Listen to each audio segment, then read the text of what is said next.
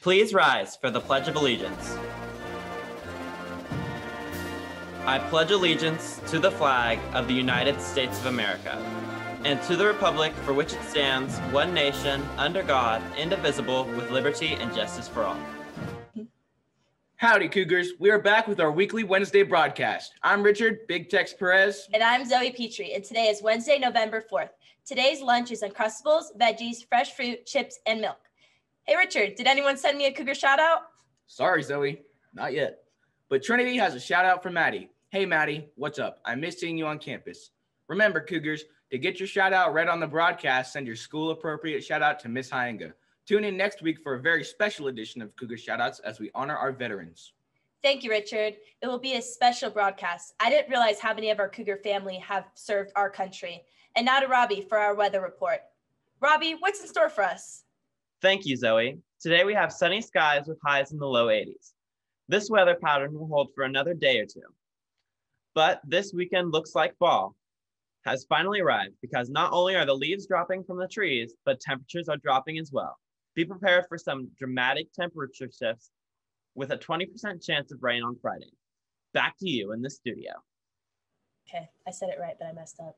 Yeah. Thanks for the great forecast, Robbie. I can't wait for sweater weather and crisp fall days spent sipping hot apple cider. Speaking of sweater weather, aren't senior sweatshirts on sale? That's right, Zoe. Although I'm more of a hot cocoa kind of guy myself, our senior sweatshirts are on sale and the store closes Monday, November 9th at 11:59 p.m. So, if you want to order your sweatshirt, do it now. At the time of this broadcast, 17 seniors have purchased their sweatshirts.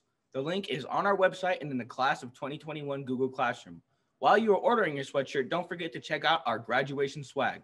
Your cap, gown, and graduation announcements can all be ordered using the link posted in our Class of 21 Google Classroom. I hear Mrs. Accurso had her baby and is out on maternity leave. Congratulations, Ms. Accurso. We wish you the best.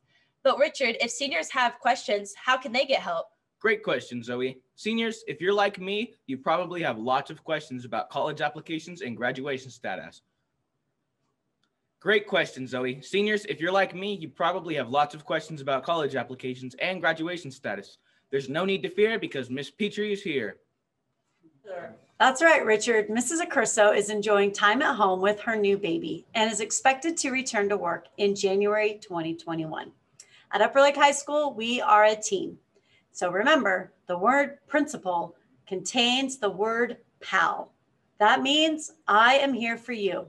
Seniors, if you have any questions about college applications or your graduation status, please reach out and I will help you complete these very important tasks.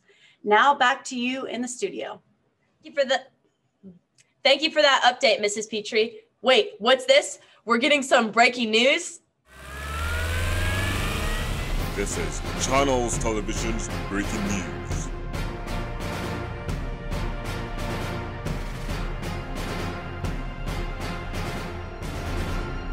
Cougars, the end of our first quarter progress report is this Friday. Check your Google Classroom and Aeries and make sure you are on the right track. As you know, this school year has been a learning experience for us all.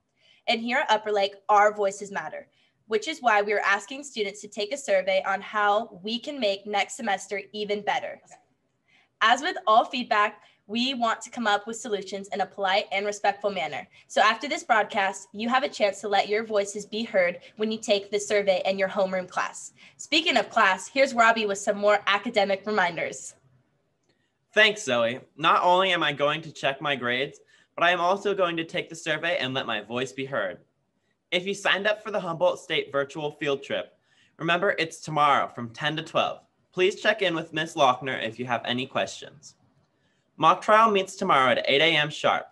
Art 4 and AP Art will meet on Friday with Miss Sabaloni during zero period. And now to Mr. Fig, who has some athletic updates. Thanks, Robbie. Hi, Cougars. It's me, Mr. Fig, your athletic director.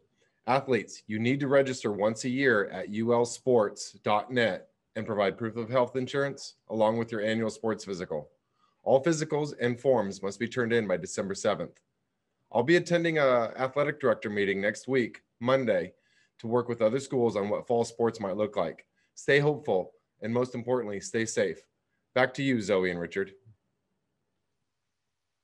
Wow, I can't believe we're already talking about December. Sometimes it feels like we're still in March. I know exactly what you mean, but now the holidays are right around the corner.